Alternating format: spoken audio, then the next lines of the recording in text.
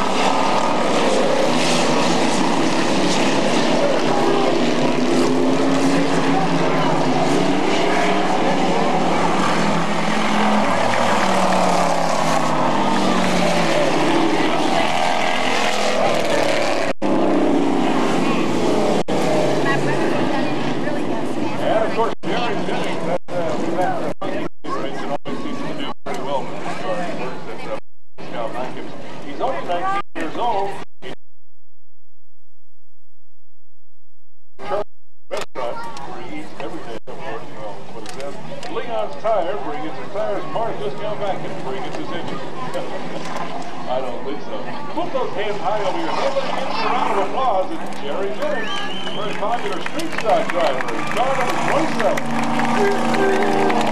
Up there, he's sponsored by Statewide Records, Midwest Auto, CC Garage, TNC Auto and Ingleside, and Mama says thanks to Albert Simpson for helping him with the parts he needed to get that car up and running tonight. Bubba Ford also a wall banger driver in the past, and still driving a sort of a wall banger car for a long Good almost like something you could have run destruction derby last week. But he's got it running nonetheless. He's going to be in this feature race tonight, the final race of the night at CC Speedway. Two, four, six, eight cars. And it will be 20 lap race.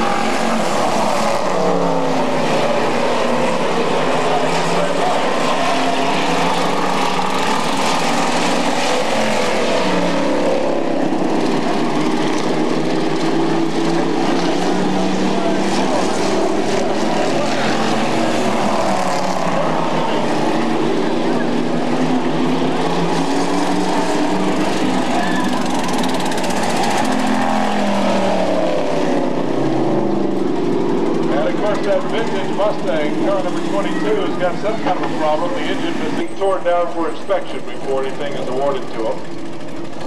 Look, you can hear number 22. It looks definitely like he has a uh, something not working right on that car. In this winner circle again here.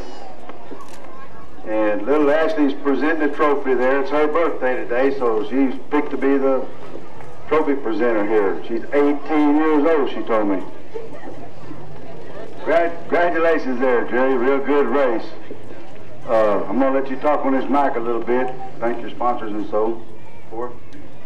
Well, Donnie, I'd like to thank my sponsors, Charco's, Mars Discount Vacuum, and Leon Tire. And I'd like to give a extra special thanks to all the fans that come out every week and support us. And we thank you, Jay. Really enjoying it. You've done a real good job there. I think Round of you're applause. Top of the heap, right? Point wise, not this half. Where are you at in this half?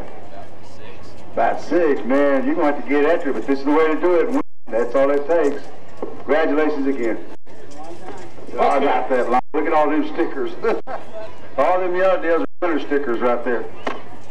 All right, one round of applause final for Jerry Jennings. Those of you still hanging out here in the grandstands waiting on us.